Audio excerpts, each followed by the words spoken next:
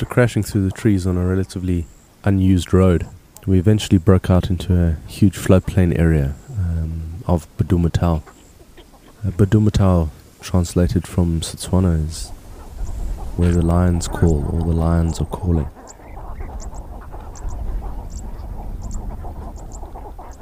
The area is obviously drying up uh, fast as we approach winter, and um, it's an ideal feeding ground for a lot of herons and egrets and storks. In amongst these egrets, there was a handful of lechwe, red lechwe. They they really are such a significant animal to the Okavango system.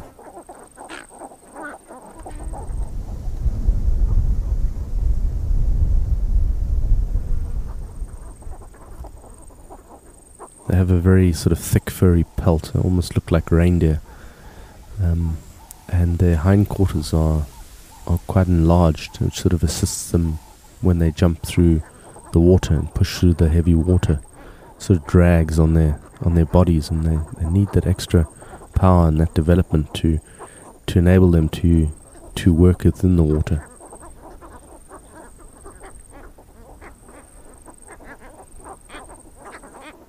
This group of uh, were were all males. They sort of sparred a little, and you know, but there was no real tension. Um, it's not the season for for uh, for mating, um, so they were quite tolerant of e- of each other, and uh, it was a highlight for me spending time with these with these lechwe. Um, the Padumatau area is is incredibly incredibly beautiful, and I hope to spend quite a lot of time down there in the very near future. It is just really, really pretty to see this herd of lechwe in the short grass, in the great light, and huge flocks of egrets just moving around them.